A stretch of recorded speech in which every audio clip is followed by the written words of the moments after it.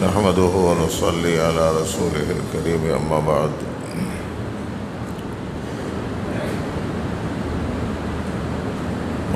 हाज़रीन नबी रहमत सल्लल्लाहु अलैहि वसल्लम ने रमज़ान मुबारक के आने से एक दिन पहले लोगों को रमज़ान की अहमियत बताई थी उसकी फजीलत बताई थी। उसके बाज़ अहकाम बताए थे। उसी सुन्नत की तकमील में मुख्तसरन ये अर्ज़ है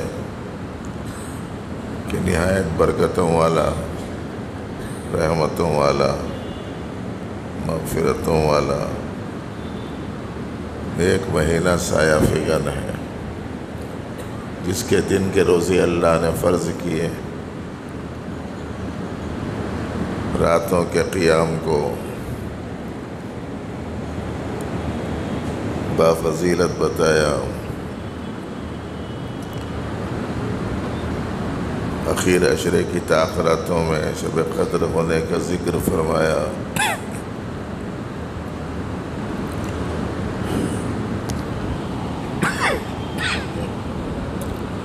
जन्नत के सजाए जाने, दोजख के दरवाज़े बंद किए जाने का ज़िक्र किया। नेकियों के, नेक अमाल के अजर के बढ़ाने का ज़िक्र फरमाया। रोज़ी के इजाफ़ा होने के बारे में रमज़ान से मुतक़ रिवायात में आया है। इस महीने को, रमज़ान को, सब्र का महीना बताया, गमखारी का महीना बताया। नबी रहमत सल्लल्लाहु अलैहि वसल्लम रमज़ान में इबादत के लिए अपने कमर कस लेते थे।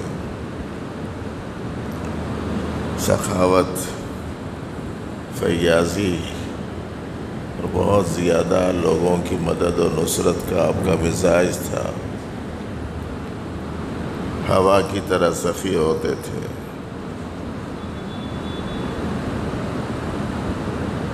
रोज़ेदार के बारे में फरमाया गया है कि इफ्तार के वक्त की इसकी दुआ कबूल होती है। रोज़े के बारे में बताया गया कि रोज़ा रखने वाले के लिए अल्लाह क़ियामत के दिन खसूसी एजाज़ में एक दरवाज़ा कायम फरमाएँगे। और रोज़े के बारे में फ़रमाया कि इसका इनाम अल्लाह जल शान हो बराह रास्त खुद देंगे। कुरान पाक के उतारे जाने का ये महीना है। इसमें शब कदर है, हज़ार महीनों से अफजल है। इसमें कलिम तय्यबा की कसरत करो। इस्तफ़ार की ज़्यादती करो। जन्नत को मांगो, जहन्नम से पनाह चाहो। ऐसी बहुत सी बातें रमज़ान मुबारक के बारे में इस कदर वारिद हुई हैं कि बाकायदा रमज़ान की फजीलतों पर मुश्तमिल किताबें मौजूद हैं।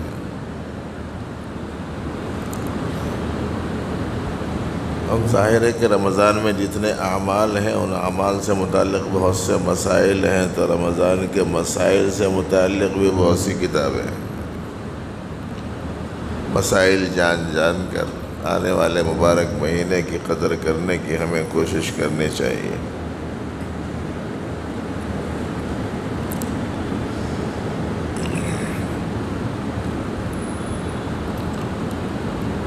मुआज़ दोस्तों खाम कभी इस ख्याल में मत पड़िए कि गर्मा शदीद है। रमज़ान मुबारक में मैं रोज़े कैसे रखूँ? ये चक्कर में मत पड़ना। हमको पैदा करने वाला, हमको ताकत देने वाला,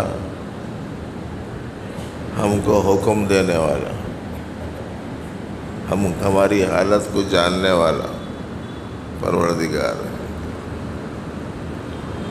उसी ने पैदा किया है तो उसे मालूम है कि हम में कितनी कैपेसिटी है। उसको मालूम है कि हम में भूख प्यास का तकाजा कितना है। उसे मालूम है कि कितना ये बर्दाश्त कर सकता है। उसे ये मालूम है कि कौन से मौसम में रमज़ान आ रहा है। उसे ये मालूम है कि कौन छाँव में काम करता है, कौन धूप में। उसे पता है कि कौन बैठकर काम करता है, कौन खड़े रहकर। उसके बावजूद हुक्म दिया है। तो समझ लेना चाहिए अब चूँ चरा नहीं, अल्लाह के हुक्मों में चूँ चरा नहीं करना। हमारी जो अकल है ना, बहुत अच्छी चीज़ है, बहुत बड़ी नेमत है। अकल अच्छी चीज़ है, बहुत बड़ी नेमत है, इसे इस्तेमाल करना चाहिए। मगर अल्लाह के हुक्म के मुकाबले में नहीं इस्तेमाल करना। आया समझ में?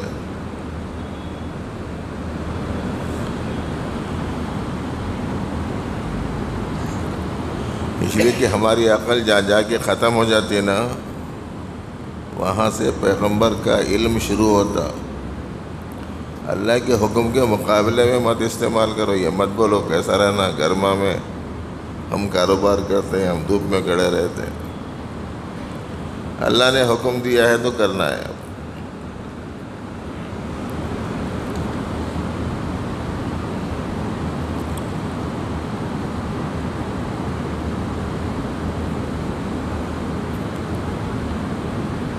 कोविड के ज़माने में रोज़े रखे तो नहीं मरे। अब तो वो बला ख़त्म हो गई।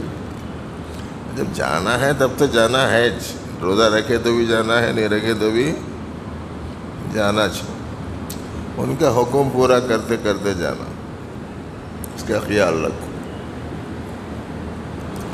खाम खा हिले बहाने मत बनाओ। एक दिन का रमज़ान का रोज़ा छोड़ोगे तो उस रमज़ान की बरक़ात को हासिल करने के लिए ज़िंदगी भर रोज़ा रखोगे तो रमज़ान के एक रोज़े की बरक़ात नहीं मिल सकती। इसे याद रखो बस। अपना दस्तूरुल अमल बनाओ। रमज़ान मुझे कैसा गुजारना है? ग्यारह महीने के जैसा मत गुजारना। हर चीज़ बदल दो। ये कामों के वास्ते अपना टाइम फारिग कर लो। नमाज़, रोज़ा, तिलावत, ज़िक्र, कलिमा इस्तफ़ार दुआ, तरावी तहजद हमदर्दी खैर खाही अल्लाह ने आपको साहिब सरबत बनाया है। तो गरीब घरानों में शहर के लिए, इफ्तार के लिए चुपके से खाना पहुँचा दो। मालूम ही नहीं होना किसी को कौन पहुँचा अल्लाह के लिए करना है ना। ये बता होता कि मत करना। दिखावे के लिए हज़ार आदमियों को भी इफ्तार करा रहे हैं, कोई फ़ायदा नहीं है। अल्लाह को राज़ी करने के लिए दो को इफ्तार करा दिए, दो को सहर करा दिए तो बहुत फ़ायदे की चीज़। इस नज़ाकत को समझो। वरना पार्टियाँ करा रहे हैं। वो पार्टियाँ ज़्यादा ठीक नहीं। कोशिश कीजिए कि अल्लाह को राज़ी करने के लिए काम करें। तरावी पूरा महीना पढ़ें, रोज़ा रोज़ा पूरा महीना रखें। चूँकि सवाब ज़्यादा मिलता है तो इसलिए रमज़ान में ज़क़़त अदा करने का निज़ाम मुसलमानों ने बनाया है। बहुत अच्छा निज़ाम है। पूरे शौक़ से, ज़ौक़ से ज़क़़त अदा करते हुए ज़क़़त निकालने के साथ साथ अल्लाह के अहकाम के मुकाबले में और आखिरत के मुकाबले में माल की मोहब्बत को भी निकाल दो। ज़क़़त भी निकालो माल की मोहब्बत भी निकाल दो। अंदर से कंजूसी, बखालत को भी निकाल दो। और जिसकी मदद कर रहे हैं, उसकी हिकारत को भी अंदर से निकाल दो। समझ सकते हैं तो समझो इन बातों को। अब नहीं समझ सकते हैं तो कुछ नहीं कह सकते।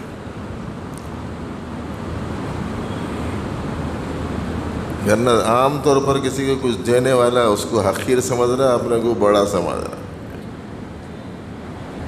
देने वाला दे रहा मगर मोहब्बत अंदर, बखल अंदर मौजूद है। अब देना है, कहते भाई, नहीं दिए तो है सो भी, इधर उधर चले जाता, कहते बोल के दे रहे ये भी कोई देना है? ओलमा तकरीर करते अगर तुम माल निकालोगे तो तुम्हारे माल में बरकत होगी, और अगर नहीं निकालोगे ज़क़़त तो फिर ऐसी सूरत में उसका माल पाक पाक नहीं रहता। फिर वह बीमारियों में इधर उधर चले जाता बोल के डराते थी। हम लोग क्या करते? मारे डर के। अरे भाई, चालीसवा हिस्सा गया, मगर वन चालीस बच गए तो अच्छा है ना बोल के निकालना। इस वास्ते नहीं निकालने का है। अल्लाह के हुक्म को पूरा करने, अल्लाह की खुशनुदी को पाने। आखिरत में अल्लाह के यहाँ जी कुर्ब हासिल करने। और जन्नत करीब है, सखी के खर्च करने वाले के इस वास्ते करना। निकालना है कहते नहीं तो ये है सो भी जाता कहते बोल के नहीं निकालना। बुखल नहीं निकल रहा। ज़क़़त निकाल दे रहे बहुत सारे लोग। हिरस नहीं निकल रही, ज़क़़त निकाल दे रहे। माल की मोहब्बत नहीं निकल रही, ज़क़़त निकाल दे रहे। हालाँकि खर्च कराने का जो मंशा था, वो तो यही था कि बुखल का इलाज हो जाए। अच्छा रोज़ा रखो तो ज़रा कायदे का रखो। टाइम नहीं है, पहुँचने में वैसे भी देर हो जा रही है। अब ज़यीफ़, कमज़ोर आदमी जितनी देर जब भी पहुँच गया, गनीमत है, समझना। इस वास्ते के, अब आर्य सोच बहुत है। फंडुआ हो गए, सो हैं हम लोग। कब झड़ जाते मालूम नहीं। बहुत थोड़े वक्त के वास्ते आपसे गुफ्तु करने का मौका मिल रहा जुमा में। ज़रा रोज़ा रखो कायदे का सरीक़े का तरीक़े का रखो। हर एक के साथ में बर्ताव अच्छा करो। और गुस्से उससे को तो रमज़ान में ख़ास तौर से ज़रा दफन कर सकते हैं तो कर दो। और लड़ाई झगड़े को वो गेट रिच का खुफल डाल सकते हैं तो डाल दो, अंदर बंद कर दो। उन्हें ऐलान करता कहते मेरी बनाए सो अलमारी को कोई तोड़ा तो उसको इनाम बोल के बोलता कहते कंपटीशन में मेरी बनाई हुई अलमारी, मेरा लगाया हुआ ताला अगर कोई तोड़ दिया तो उसको इनाम बोलता कहते मैं ये गुजारिश कर रहा हूँ कि रमज़ान में लड़ाई झगड़े को ऐसे ताले में बंद कर दो तो ही तोड़ नहीं सकना। बीएम के ऊपर गर्म होना भी कम कर दो, बल्कि गर्म होना ही नहीं चाहिए। आप भी नहीं खा रहे हैं, उन्हें भी नहीं खा रही आप नहीं खाए तो उसको आप गुस्से में आ जा रहे हैं। ये तो कोई बात ही नहीं। रोज़ा उन्हें भी है और आप भी है। मातहतों पे काम को कम करो। गुनाह से बचो। ऐसा नहीं है कि सब रमज़ान है खाना पीना नहीं है, गुनाह में लगे रहो। ख़ास तौर से आँखों के गुनाह से बचाओ अपने आप को। मोबाइल के गलत इस्तेमाल से परहेज़ कीजिए। तिलावत ज़्यादा ज़्यादा कीजिए, बशर्ते के सही पढ़ सकते हों। सही नहीं पढ़ सकते हैं तो तिलावत के वास्ते रोज़ाना आप एक घंटा निकाल रहे, दो घंटे निकाल रहे तो एक घंटा, दो घंटे कुरान करीम सीखने के वास्ते खर्च कर दो। इन उससे ज़्यादा सवाब मिलेगा। याद रखें इस बात को। इसलिए कि हदीस की रोशनी में कराम ने फरमाया है कि किसी आदमी का रात तमाम नफिल नमाज़ पढ़ना और किसी आदमी का एक मसला सीखना, अगर दोनों का मुकाबला किया जाए तो एक मसला सीखने की फजीलत ज़्यादा है। इसलिए जिसे सही पढ़ना नहीं आता, मौलवियों को पकड़ो और सीखो। और भाई, ज़्यादा से ज़्यादा इबादत में अपना वक़्त गुजारने की कोशिश कीजिए। अब ताला मुझे आपको तोफ़ी अमल अता फरमाए।